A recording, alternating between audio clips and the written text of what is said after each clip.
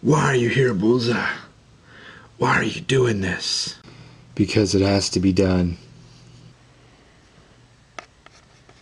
We should combine our powers. Join the Secret Six. No, listen. Come with me and join the Dark Avengers. You'll be a great asset to the team. No. No, I can't I can't be part of your universe. You know that, Bullseye. Floyd. Floyd, I am your father. Wait. Wait, really? You're really my father?